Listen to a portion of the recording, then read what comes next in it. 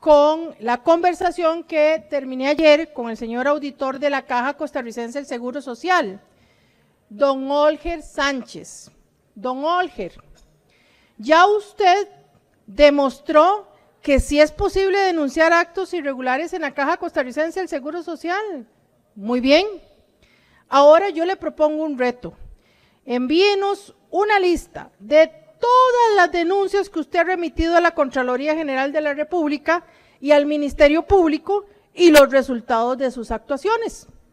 Y esta semana, por ejemplo, nos dimos cuenta de que cuando se quieren hacer las cosas, solo hace falta la voluntad para lograrlas al interno de la Caja Costarricense del Seguro Social. ¿Cuántas denuncias se han planteado ante la auditoría interna de la caja durante todos estos años que usted ha sido el auditor?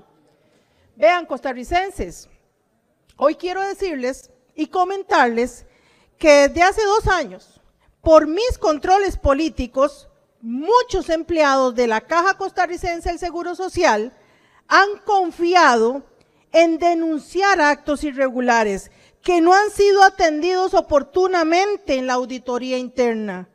Hasta este lunes, la auditoría interna se ha mantenido como un actor secundario y de pocos flash.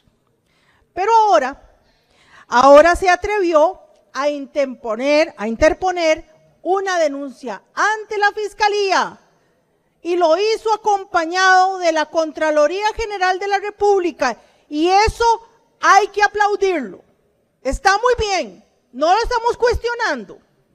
Pero la pregunta que hacemos todos, la pregunta que queda en el aire es, señor Olger, ¿seguirá actuando así la, contra, la auditoría interna de la Caja Costarricense del Seguro Social ante los casos de corrupción, mala gestión administrativa, nombramientos ilegales, mala gestión financiera contable, mala gestión de compra de medicamentos e insumos, mala planificación de infraestructura y si no, ¿por qué no se ha inaugurado el hospital de Punta Arenas? Preguntémonos, costarricenses.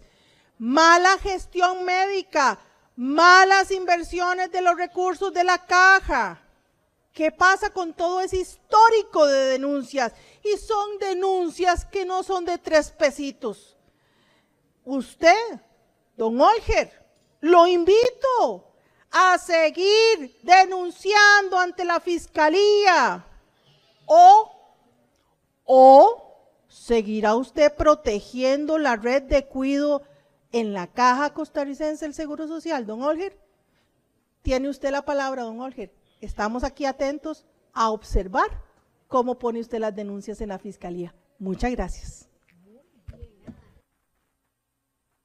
Junta de Protección Social. Jugar responsablemente, jugar para hacer el bien. Existen muchos planes. El mío es el más importante. Las metas existen. La mía es la más importante. Unite a Lina y cursa alguno de nuestros programas educativos que te harán tener la mejor oportunidad para la vida. En el Instituto Nacional de Aprendizaje desarrollamos tus competencias y capacidades para la empleabilidad y empresariedad. Más información al teléfono 2210 6000.